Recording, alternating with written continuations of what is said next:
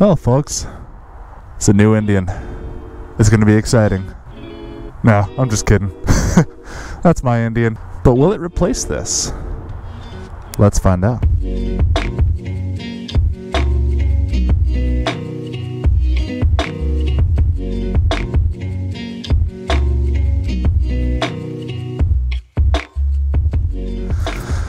Weak on the battery.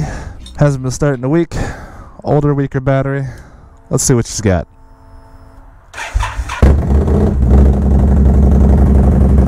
Sounds good to me.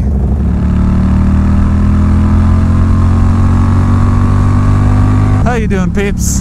Today, we're talking about well, we know what we're talking about, don't we? We're talking about the long-awaited next model from Indian.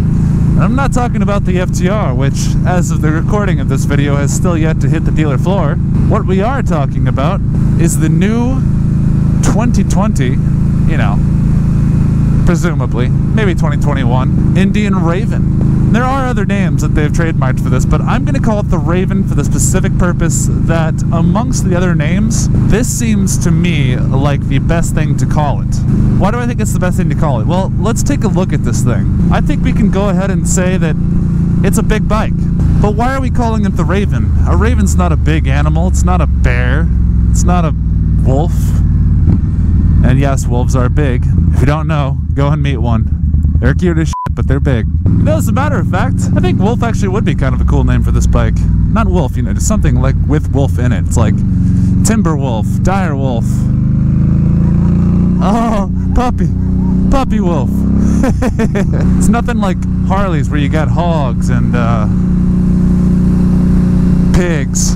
But if you look at this bike, man, take a look at it. What do you see? I'll tell you two things I see, two things I notice right away.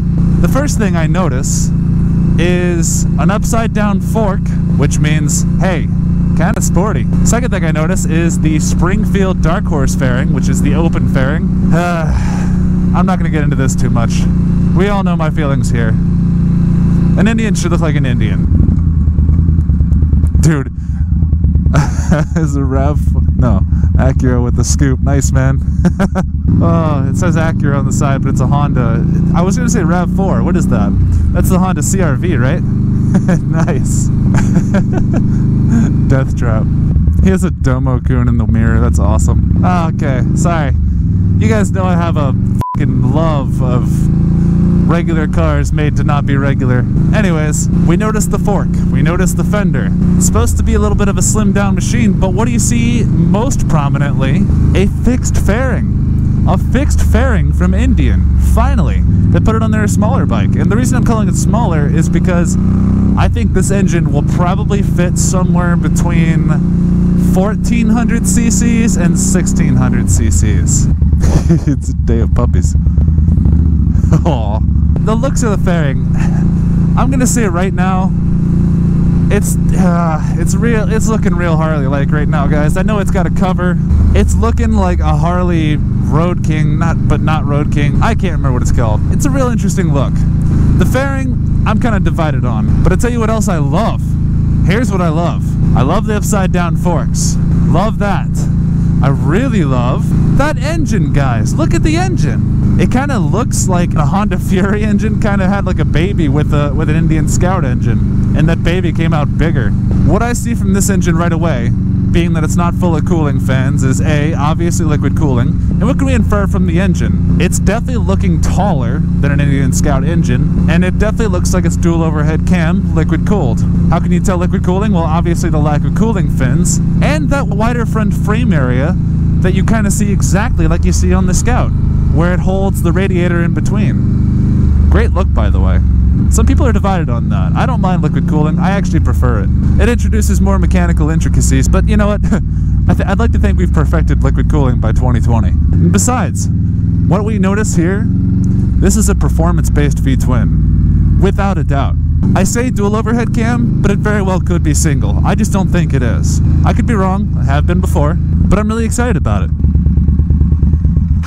Oh, really? So the Indian Scout, it's a performance bike. It's the middleweight bike.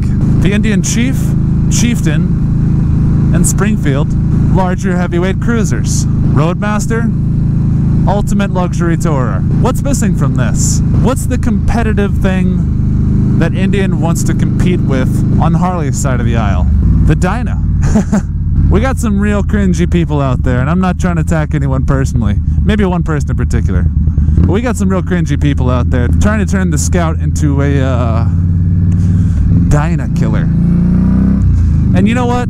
I don't think an Indian Scout has any trouble beating a Dyna, but I don't think the Indian Scout is meant to be styled after the Dyna. It's not that exact segment of the market. What the Indian Raven will be doing, again, working title, is it will be filling the blank between the Scout and the touring bikes. Scout's a monster, man. Scout's fast. The FTR, it's not exactly what everyone's looking for. The FTR is is its own sort of little niche thing, you know what I mean? The Indian Raven would be the bike that fills the gap between the Thunderstroke bikes to tour and the Indian Scout and FTR that seem to be more around town bikes based around performance. The Raven seems like it would be able to do some mild touring if you equip it well. And by some mild touring, I mean, you know, probably a little bit better than the Scout. Who knows though? This is a leaked photo.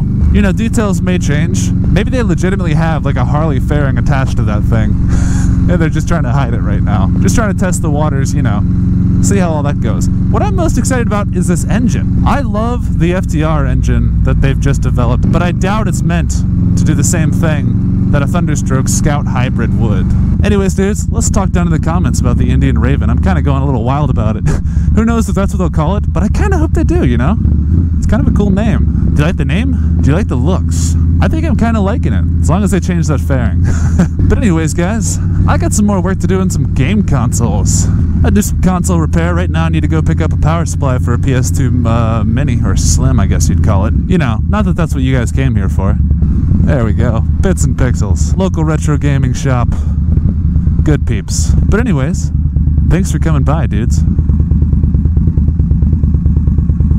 It's one of the things about having a loud engine in the city. You interrupt the music players. Guy can't play his banjo. Poor guy.